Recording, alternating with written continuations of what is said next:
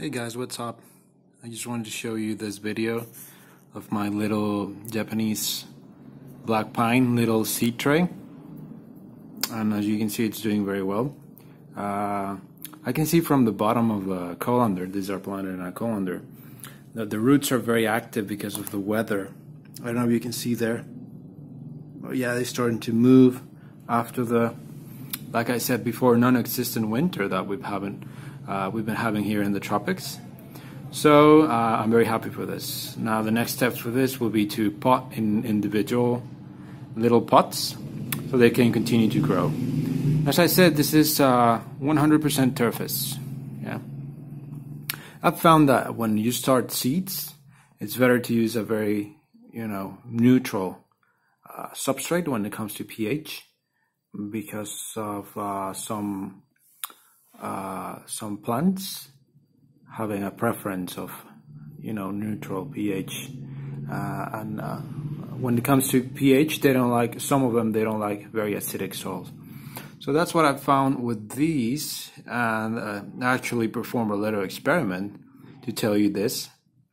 And as you can see here we have another one that I just started that I recently started a couple of weeks ago and again, it's planted in like 100% uh, Turface.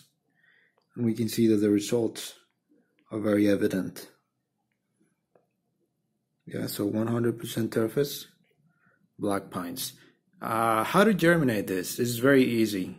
Uh, it's very, very easy. You just have to soak them in water for about a couple of hours, you know, two, three hours, and then you just plant them in 100% Turface.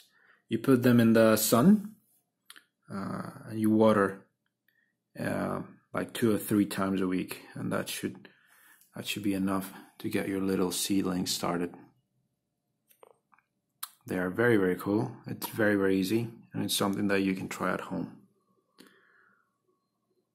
And in a couple of years, you'll have many many little Japanese black pines of your own to start as bonsai, to grow as garden specimens. So give it a try. I just wanted to share this quick video with you. If you have any questions, comments, or uh, buys, please share them with me by dropping a line in the comments. Until next time, bye bye.